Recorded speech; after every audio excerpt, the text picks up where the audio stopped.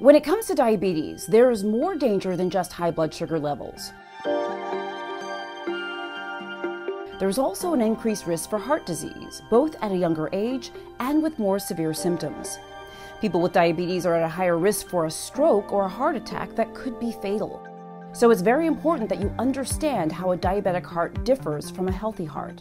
Diabetes causes many changes in the body that affects how energy is processed and how organs function. Now, because of this built-in metabolic risk factor, people with diabetes are at an increased risk for heart disease, even when they keep their high blood sugar levels under control.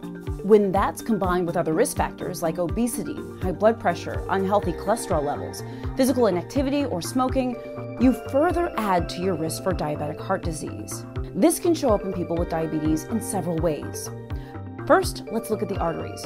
Now, here and here is plaque buildup. This buildup of plaque in the arteries reduces the flow of oxygen rich blood. This is called coronary artery disease. Now, with heart disease, the high blood sugar levels from diabetes can lead to deposits of plaque inside the blood vessel walls, like here and here. These deposits increase your chances for narrowed, hardened, or clogged blood vessels. Diabetes can damage the heart muscle, affecting its function, which is called diabetic cardiomyopathy. This can then lead to a weakened heart, also known as heart failure, and problems with heart rhythm that can bring on a stroke. Now take a look at the inside of the heart. Look all around. You can see that because of the unnatural stress, the heart muscle can thicken. Here, you can see inflammation, right? And a buildup of scar tissue caused by the muscle being overworked and stressed. Now, when this happens and when your heart gets thick and stiff, it really can't keep up with the demand the rest of your body puts on it. The harder it tries to work, the more damage is done. And over time, the heart deteriorates. Your heart becomes very enlarged and it's weak.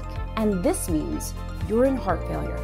Unfortunately, people with diabetes are two to four times more likely to have heart disease. And at least 68% of those over the age of 65 die from some type of heart disease. You know, it's never too late to get physically active, eat healthier, and reduce your stress levels. Be sure to talk with your doctor about medications that may prevent or control risk factors for heart disease.